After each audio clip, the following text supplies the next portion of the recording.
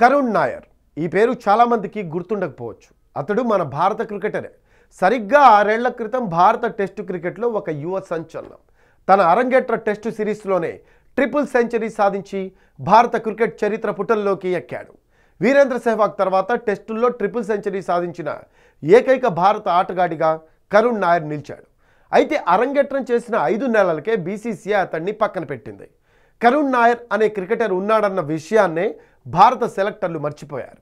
దేశవాళీ క్రికెట్లో టోర్నీల్లో అద్భుతంగా రాణిస్తున్నప్పటికీ భారత జట్టు నుంచి మాత్రం పిలుపు రావడం లేదు. కానీ మళ్ళీ భారత జెర్సీ ధరించేందుకు కరుణ్ నాయర్ మాత్రం వేయి కళ్ళతో ఎదురు చూస్తున్నాడు ఇక ఇదిలా ఉండగా త్వరలో జరగనున్న రంజీ ట్రోఫీకి కర్ణాటక జట్టులో కరుణ్ నాయర్కు చోటు దక్కలేదు. తొలి రెండు మ్యాచ్లకు జట్టును ప్రకటించిన కర్ణాటక క్రికెట్ బోర్డు అతడికి మాత్రం చోటు ఇవ్వలేదు ఈ క్రమంలో కరుణ్ నాయర్ చేసిన ఓ పోస్ట్ అభిమానుల హృదయాలను తాకుతోంది.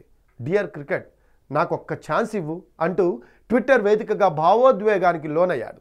దీనిపై అభిమానులు స్పందిస్తూ నీలాంటి టాలెంట్ ఉన్న ఎంతోమంది ఆటగాళ్ళను తొక్కేశారు అంటూ కామెంట్లు చేస్తున్నారు. మళ్ళీ భారత జట్టులో తిరిగి నిన్ను చూడాలి అనుకుంటున్నాం భయ్యా అంటూ పోస్టులు చేస్తున్నారు.